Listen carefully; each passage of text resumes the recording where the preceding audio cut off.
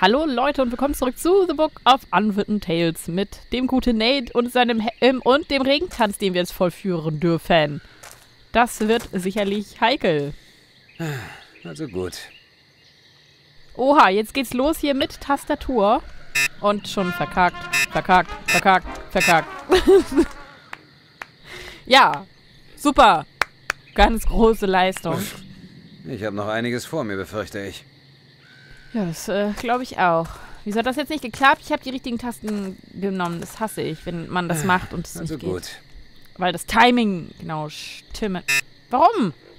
Okay.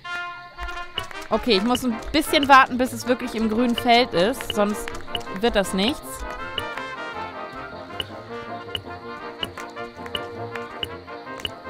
Oh, oh, oh, oh. Und? Hat's geklappt? Oder noch eine Runde? Yeah, es hat geklappt. Es hat funktioniert. Schnell, Butterkeks. Bring mich zu meinem Körper. Wuhu. Schon in Ordnung, ich brauche keine Hilfe.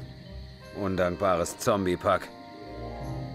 Ja, das mit Tastatur war jetzt überrumpelnd, aber hat ja sehr gut geklappt. Ähm, ja. Dann ist der Blitz eingeschlagen, dann gehen wir zurück, würde ich sagen. Gucken, was die jetzt sagen. Ach Gott, was macht er denn da mit ihr? Ja, aber er hat ja jetzt auch seinen Körper wieder. Und, amüsiert ihr euch gut, während ich vor mich hinrauche? Ja, hat alles ganz wunderbar geklappt. Ich frage gar nicht erst wieso. Wie sieht es mit meiner Rüstung aus und dem Versteck des Schwertes? Aber selbstverständlich. Die Rüstung findest du in dem Grab dort. Den bröckligen Kram solltest du vorher abwischen. Äh, Das Schwert findest du im feurigen Berg. wo ist der? Es ist ein Vulkan hier ganz in der Nähe.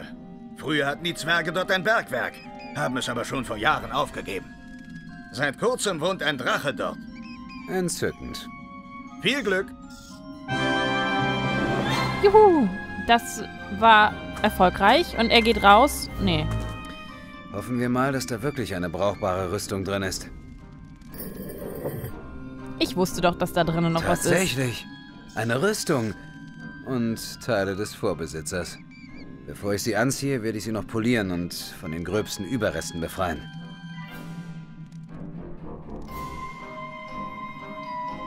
Tada! Kleider machen Leute, Rüstungen machen Helden. Ja, da wir das jetzt schon anhaben, fehlt uns jetzt eigentlich nur noch auf jeden Fall ein Schwert, aber Beine kriegt er nicht, ne? Also, was sagt er dazu? Ah, keine Ahnung, was ich fragen sollte. Nochmal bedanken bei denen. Ich lasse die beiden Turtelgeier lieber allein. Gute Geier vor allem. Ich lasse die Ja, okay. Dann können wir rausgehen. Ähm, was sagt die Karte? Wir müssen ja auf jeden Fall noch da was machen und da was machen. Gehen wir doch mal dahin. Hier waren wir nämlich ja jetzt auch noch nicht.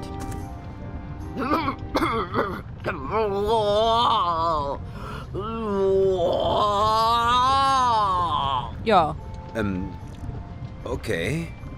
Hast du. Hast du Angst? Geht so. Du solltest äh, starr vor Schrecken sein. Bist du starr vor Schreck? Nicht wirklich. Was liest du da? Wie werde ich ein furchteinflößendes Monster in 14 Tagen? Aber ich habe gerade erst angefangen. Und im ersten Kapitel steht, man soll sich nicht entmutigen lassen, wenn es nicht gleich funktioniert. Und es wird immer Leute geben, die einem den beruflichen Erfolg nicht gönnen. Klar. Da ist was dran. Ähm, betrachte den Schmelzofen. Reden wir jetzt erstmal mit. Wir reden erstmal mit dem Drachen. Hallo, meine Hübsche. Ja? Wer bist du und warum möchtest du ein furchteinflößendes Ungeheuer sein? Ich suche ein magisches Schwert. Hast du so etwas hier rumliegen sehen? Was ist das hier für ein Ort? Du möchtest also ein fürchterliches Ungeheuer werden? Warum? Und wer bist du überhaupt? Ich bin eine missverstandene Frau in ihren besten Jahren. Oh oh. Jahrelang habe ich als Transportdrache geschuftet. Aber gestern habe ich gekündigt. Ich lasse mir nicht alles bieten, weißt du? Hat dich jemand betatscht? Angeschrien haben sie mich, nur weil ich die Ladung verloren habe. Alles wegen dieser Elfe. Ich sollte ihr dankbar sein. Endlich kann ich mein volles Potenzial ausschöpfen und mich in der zweiten Lebenshälfte beruflich neu orientieren. Als äh, furchteinflößendes Ungeheuer? Ein traditionelles Berufsbild für Drachen. Männer sind es immer. Aber warum sollte es nicht auch eine Frau schaffen? Genau. Und was musst du alles tun, um ein furchteinflößendes Ungeheuer zu werden? Drei Prüfungen bestehen? Oh nein, so einfach ist das nicht. Es ist ein komplizierter Zehn-Stufen-Plan. Ich muss mich in verschiedensten Bereichen fortbilden und Schritt für Schritt mein Schreckenspotenzial aufbauen. Aber das ist alles so kompliziert. Ich soll Jungfrauen fressen. Dabei bin ich Vegetarierin. Und ich habe noch nie Feuer gespuckt. Ich habe keinen Goldschatz. Und ich weiß nicht, wie man Ritterrüstungen knackt. Außerdem kannst du nicht gut brüllen. Ich weiß. Aber äh, immerhin habe ich schon mal eine angemessene Drachenhöhle gefunden, oder? Ja, äh, ja. Ich bin auf der Suche nach einem magischen Schwert, das hier am Berg sein soll. Hast du eine Idee, wo es ist? Schon. Ja, wo ist es? Nun ja, du bist so etwas wie ein Krieger und ich bin ein Drache. Müssten wir nicht kämpfen oder so etwas? Wer sagt das? Kapitel 5. Übereifrige Helden, oder? Wenn das Abendessen zu Besuch kommt. Äh. Ja. So, ja, nee, wir kämpfen nicht. Das ist doch völlig überholter Blödsinn. Meinst du? Na klar. Konfrontationen bringen einen nicht weiter. Du musst dir Verbündete suchen. Networking heißt das Zauberwort. Networking? Davon steht hier nichts. Vielleicht, äh, vielleicht kommst du später noch mal wieder, wenn ich mehr gelesen habe. Wir können das bestimmt auch anders regeln. Denn? Vielleicht helfe ich dir, ein furchteinflößendes Ungeheuer zu werden. Tatsächlich? Du kannst mir beibringen, wie man Feuer spuckt? Äh, nein. Dann befürchte ich, dass du mir nicht helfen kannst. Außer, hast du vielleicht einen riesigen Goldschatz? Nicht wirklich, aber vielleicht kann ich dir zumindest etwas Gold besorgen. Als Starthilfe sozusagen. Eine Goldmünze zum Beispiel. Hm. Abgemacht. In Kapitel 1 steht, dass jeder klein anfangen muss. Und eine einzelne Goldmünze ist ein guter Anfang für einen riesigen Goldschatz, oder? Ja, ähm, Wegen des Schwerts. Äh, Was war da doch gleich der Haken? Du wolltest mir die erste Goldmünze für meinen riesigen Goldschatz besorgen. okay. Ah, richtig. Das ist also der Haken. Was ist das hier für ein Ort? Meine Drachenhöhle. Schon klar, aber was war es vorher? Diese Maschinen da drüben sehen sehr alt aus. Die Zwerge haben sie gebaut. Vor Jahrhunderten. Sie haben hier im Vulkan nach seltenen Metallen geschürft und einige mächtige Waffen geschmiedet. Doch dann ist der Schrecken auf sie herabgestürzt. Ein mächtiger, rosa Drache vertrieb sie. Wow! Erstmal ein Hustenanfall. Aha. Gefällt dir die Geschichte? Ich arbeite an meiner eigenen Legende. Jedes furchteinflößende Ungeheuer umgibt sich mit einem Netz aus Mythen und Legenden. Okay. Ich muss weiter. Schön weiter üben. Natürlich, natürlich. Ach, die ist süß, die Drachenlady. Ich hoffe, er verarscht sie nicht komplett. Ein Hammer. Ein Hammer. Die eine Seite des Kopfes ist abgerundet.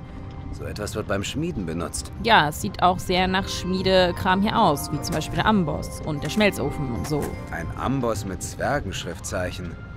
Gewaltiges Ding. Eine Zange, wie Schmiede sie benutzen. Durch die langen Griffe kann man großen Druck auf die Werkstücke ausüben und sie sicher halten. Können wir irgendwas mitnehmen? Ja, wir können die Zange mitnehmen. Das ist wunderbar. Können wir hier irgendwas bei dem Kram mitnehmen von ihr? Nee. Gut, dann schauen wir uns weiter um. Guck dir mal das, La das Lavabecken an, okay. Lavabecken. Luke. Lavabecken. Lavabecken. In das Drachenbecken fließt beständig Lava. Die Hitze ist unerträglich. Das ist das Lava. Ich dachte, das wäre das Lavabecken. Okay. Eindeutig eine Zwergenarbeit. Der Drache muss von innen beschichtet sein, damit die Lava das Metall nicht schmilzt. Mhm. Hm, der Drache ist beschädigt. Da fehlt eindeutig der Kopf. Da fehlt ein Kopf. Aha. Können wir uns das später dann noch bauen oder so? Diese Luke hält die Lava im Becken. Wenn man sie mit Hilfe der Kette öffnet, fließt die Lava heraus. So, so. Okay. Gut. Ein massiver Steinofen. Darin wurde früher Metall geschmolzen, wie mir scheint. Der Schmelzofen wird kein Metall schmelzen, solange er nur Raumtemperatur hat. Außer man füllt gefrorenes Quecksilber ein. Der Schmelzofen wird kein Metall schmelzen, solange er nur Raumtemperatur hat. Außer man füllt gefrorenes Quecksilber ein. Gefrorenes Quecksilber. Der Steindruck ist mit Wasser gefüllt. Es sieht dunkel und rostig aus. Vermutlich kühlten die Schmiede ihre Werkstücke im Wasser ab. Mhm. Hm, ich glaube, das ist eine Münzpresse. Man füllt Gold, Silber oder Mithril in die Öffnung und presst mit diesem Stempel die Gravur in die Münze. Wenn Metall in der Form wäre, könnte ich eine Münze stempeln, vorausgesetzt, das Rad lässt sich nach all den Jahren noch drehen. Wenn Metall in der Form wäre, könnte... Okay. Wenn Metall... Ja, Metall, Metall, Metall. Wir haben aber sowas nicht. Geh zur Landschaft. Haben wir irgendwas denn hier jetzt noch übersehen? Hier ist noch was? Steine. Hm, eine Reihe seltsamer Steine. Sie sind recht glatt und glitzern leicht. Wahrscheinlich stammen sie aus dem Inneren des Berges. Ah, wir nehmen einen Stein mit. Weil ich denke die ganze Zeit noch hier an diese Troll-Dinger. Ach, wir können den Hammer sogar mitnehmen. Echt? Der nimmt den ganzen Hammer mit? Okay. Kann man ja mal machen. Hier können wir quatschen. Hier ist eine Steinschale. Die habe ich auch nicht Eine gefunden. massive Steinschale mit einer Art Griff. Die Innenseite ist schwarz und verrußt. Das kannst du doch bestimmt auch mitnehmen. Okay. Äh, vielleicht möchte der eine hier sein Dings tauschen. Wir gehen mal raus. Oder können wir zur Landschaft gehen? Nee. Gut, dann gehen wir mal zu denen zurück. Ich möchte die eigentlich mal endlich zum Einsturz bringen. Damit wir das Schild bekommen. Das fehlt uns ja. Ach nee, hier wollte ich gar nicht hin. Zu denen wollte ich ja gar nicht. Zu denen wollte ich. Zu Grump und so, genau, so hießen die. Ähm, möchte er vielleicht die Steinschale haben? Oder können wir hier den mit Steinen bewerfen?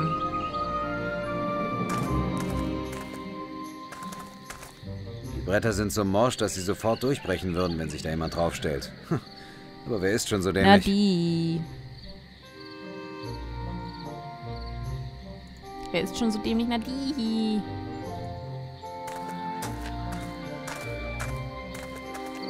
Hallo, Grump. Du, Menschlein. Menschlein. Ganz recht. Ah, Und? Wie läuft's bei der Jagd? Noch nicht Was jagst du denn? alles. Aha. Mann, Ich muss los. Hunger. der ist doch so hungrig. Da müssen wir doch was machen können.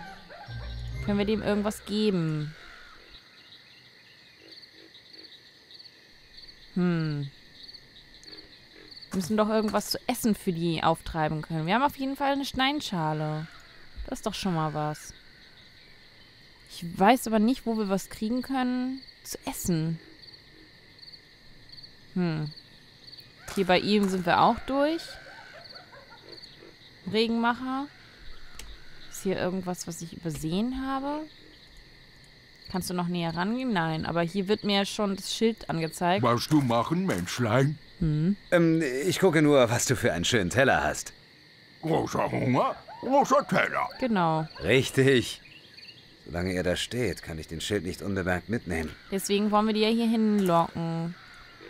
Vielleicht brauchen wir auch nicht was zu essen, sondern halt eher, was er jagen kann. Irgendwas basteln. Das macht zwar keinen Sinn, aber Holzstiel. Hier, der ist blind und dann soll er das Garn mit einem selbstgebastelten Maus jagen. Ach Mann, ich weiß auch nicht. Ähm, gehen wir nochmal zu denen. Ach nee, sind wir ja schon. Äh, zu denen meinte ich. Hier muss doch irgendwas sein. Und wir brauchen ja auch eine Goldmünze. Geh mal rein. Wir sind ja jetzt die neue Gottheit.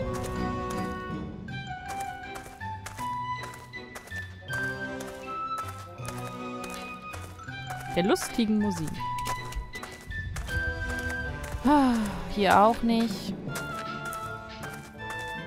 Irgendwas habe ich noch nicht eingesammelt. Irgendwelche Beeren vielleicht auch, aber das ist zu wenig für Grump. Da sind ja die ganzen Gaben unten bei der Gottheit. Deswegen glaube ich halt eigentlich, dass wir das da finden.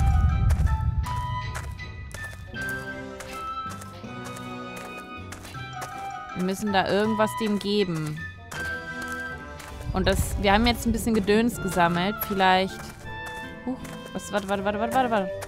Da war irgendwas zum Anklicken.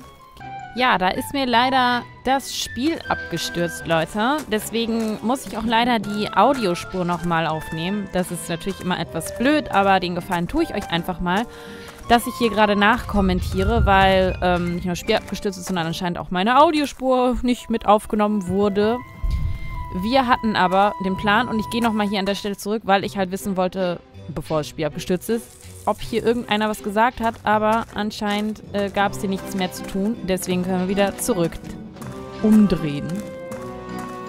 Und wir gehen nach unten zu dem, zu dem, zu dem, gar nicht zu dem, zu dem doch, zu dem kleinen Erd, Erdwichtel. Arbeiterchen. Der offensichtlich ähm, den Kopf ja hat den wir brauchen. Ähm, hallo, du?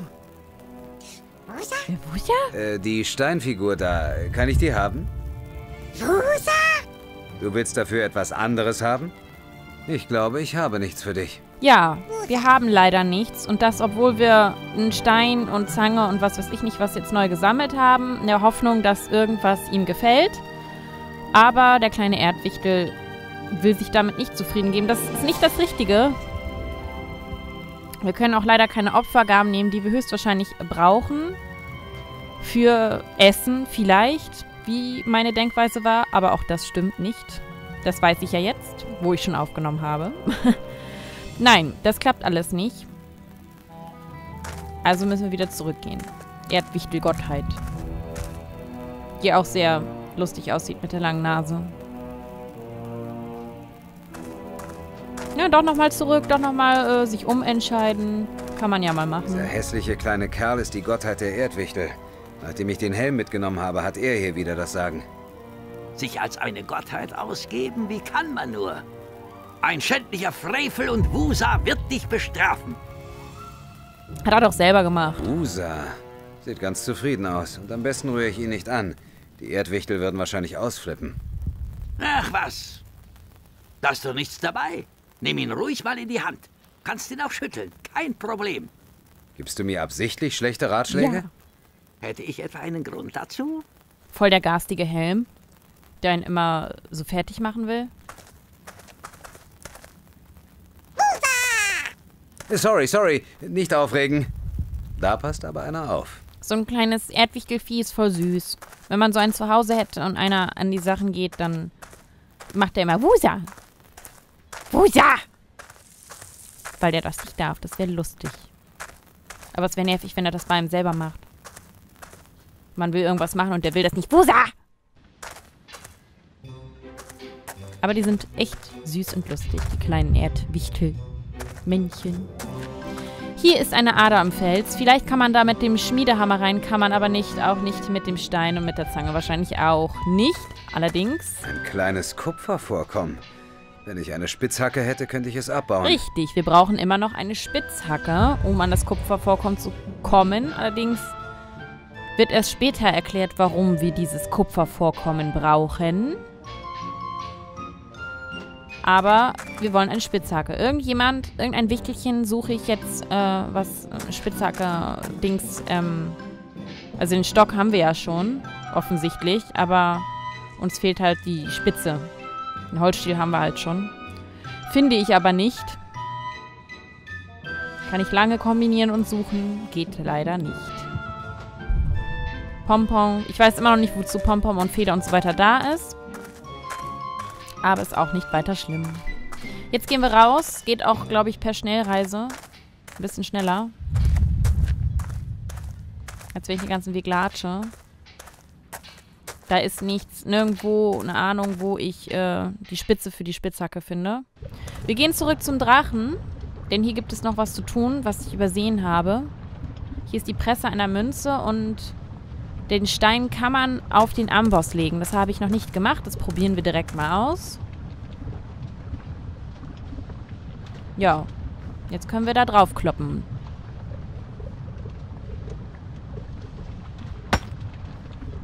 Im Inneren des Steins sind Kristalle.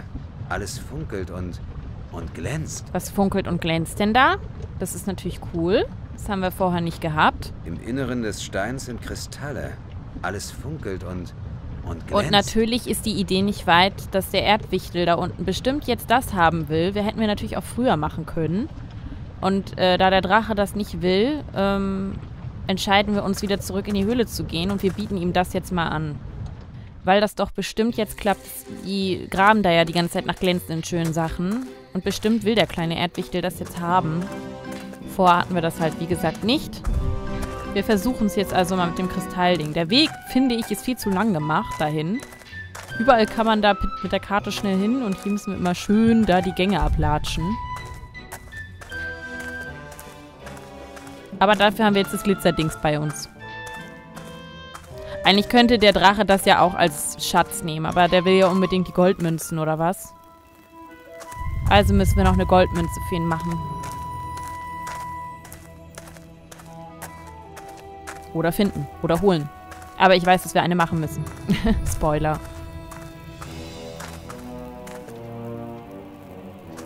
Ich glaube, ich habe genau das Richtige.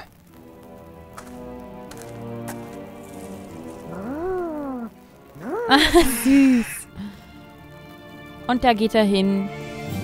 Mit so große schwarze Alienaugen, so ein komisches Skelettmundgesicht. Wusa. So, jetzt können wir den Steinkopf ich schätze, nehmen. damit gehörst du mir. Und das ist doch der Kopf für den Drachendings. Und die Opfergaben können wir jetzt auch nehmen. Die großen Steine sind zu auffällig. Aber vielleicht kann ich unbemerkt ein paar von den kleinen Goldnuggets mitnehmen. Diebstahl!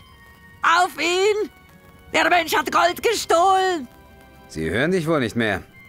Nur ich kann dich hören, wenn du auf meinem Kopf sitzt. Stimmt's? So ein Pech. Freu dich nicht so früh. Für heute Abend bereite ich eine Oper vor. Verlockend sind diese Edelsteine ja schon. Aber ich will mein Glück nicht strapazieren. Ich lasse sie, wo sie sind. Ja, gut. Wir können auch nichts mehr machen beim Altar. Ähm, immer wenn der Helm spricht, denke ich übrigens auch immer, dass das eigentlich die Gottheit ist, die da spricht. Aber es ist ja der Helm. Das vergesse ich gerne. Und wir haben jetzt ein Goldnugget. Und was können wir mit dem Goldnugget wohl machen? Genau, wir haben jetzt Gold. Der Drache will eine Münze. Also gehen wir wieder zurück zum Drachen und benutzen den Goldnugget ähm, für die Presse. Es geht aber noch Nuggets nicht. sind zu hart, um sich einfach platt zu drücken. Sie schmelzen oder zumindest stark erwärmen. Und dafür müssen wir natürlich an den großen Schmelzofen ran. Der allerdings noch den Kopf nicht hat. Den haben wir ja jetzt aber auch. Der wird hoffentlich passen. Das war's. Der Kopf passt perfekt. Perfekt. Ja. Goldnugget wird ausprobiert, geht aber noch nicht dran. Da müssen wir erstmal noch was machen. Ich denke, jetzt könnte ich die Lava wieder fließen lassen. Der Kopf stellt die Verbindung vom Becken zum Trichter her. Juhu. So, und jetzt? Ah, öffne die Luke. Lava Marsch. So. Jetzt wird der Ofen dadurch erhitzt und wir können das Nugget da reinlegen. Es muss ja irgendwie schmelzen. Aber das machen wir im nächsten Part von The Book of Unwritten Tales, Leute. Wir sehen uns und hören uns. Bis dann.